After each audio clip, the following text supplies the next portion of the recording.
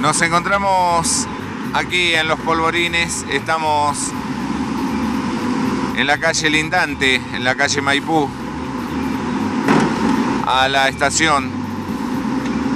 Y vemos una obra hidráulica importante que se está haciendo. Tiene relación con los efluentes cloacales.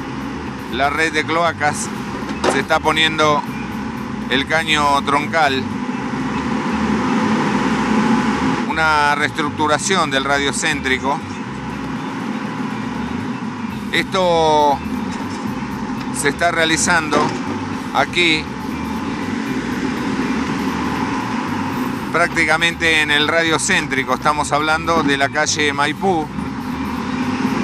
Esta red que se está instalando va a ir a una planta de bombeo que se encuentra en la intersección en la calle Suipacha, intersección con Mosconi, entre Mosconi y 25 de mayo, la que va a bombear todos los fluidos cloacales hacia la planta que está ubicada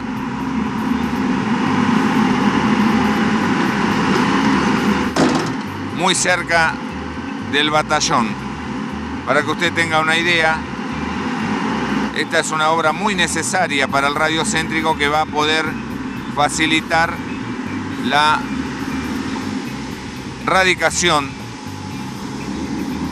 de viviendas